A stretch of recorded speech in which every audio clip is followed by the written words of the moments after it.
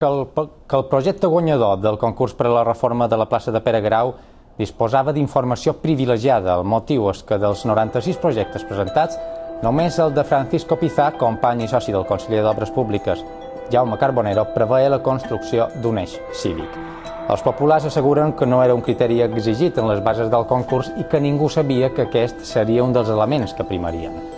Des del Partit Popular de Palma també els crida l'atenció que tant el segon com el tercer premi del concurs hagin quedat deserts.